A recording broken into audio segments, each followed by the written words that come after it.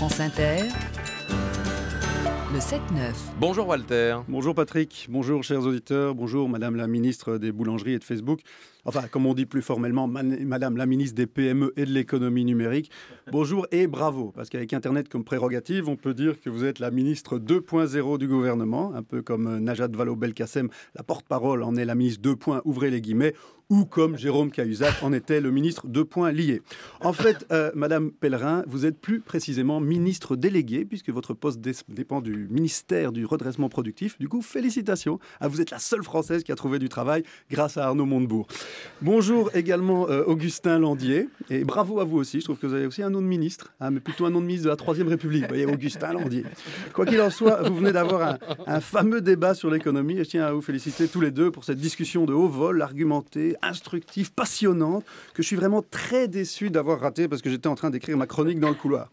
Mais mais, mais, mais, j'espère que cette chronique, justement, vous donnera des idées, car elle est, elle aussi, consacrée à l'économie. Oui, j'ai décidé, moi aussi, de livrer deux propositions pour sauver la France. La priorité est bien évidemment la lutte contre le chômage, qui oblige bien des Français à serrer la ceinture lors des repas, car, comme chacun le sait, c'est chômage ou dessert. Et le, je, dis ce que je veux. Et le principal fléau, vous en conviendrez, Madame la ministre des bar tabac et Twitter, c'est le chômage des jeunes.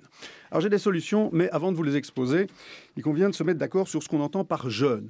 On pourrait par exemple décréter qu'est jeune tout être humain qui dépend encore financièrement de ses parents.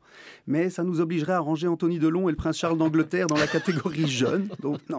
On pourrait également choisir un critère d'âge, mais là aussi c'est relatif. Par exemple, sachant que l'espérance de vie est de 83 ans en Suisse et de 32 ans au Mozambique, ça va être compliqué de se mettre d'accord. Un nourrisson en Suisse s'appelle en effet un jeune actif au Mozambique. Un enfant en Suisse s'appelle un retraité au Mozambique. Et un retraité en Suisse s'appelle un exilé fiscal.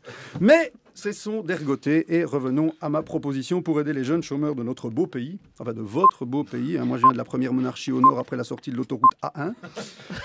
Dans ce beau pays de France, donc, si je peux me permettre, il me semble urgent d'abandonner les emplois d'hier, on l'a dit, et d'encourager les métiers d'avenir, les filières en pleine expansion, comme par exemple entrepreneur de pompes funèbres à Marseille avocat fiscaliste à l'Assemblée nationale ou encore orthophoniste en équipe de France. Allez, tous ensemble sur les métiers d'avenir. En même temps, je me fatigue à donner des conseils pour les jeunes alors qu'il est 8h55 et que ces feignasses sont encore dans le lit en train de dormir. Alors bon, le deuxième grand chantier pour sauver la France, vous ne me contredirez pas, Madame la ministre des Superettes et de Wikipédia, c'est la maîtrise des dépenses de l'État, la chasse au gaspillage de l'argent du contribuable. Mais c'est un petit peu délicat de parler de ça sur une radio publique. Et c'est pourquoi c'est la fin de cette chronique. Et quoi que vous en ayez pensé, n'oubliez pas que vous êtes sur France Inter et qu'elle a donc été financée par vos impôts. Walter, merci beaucoup. de rien, Patrick. Et à la semaine prochaine.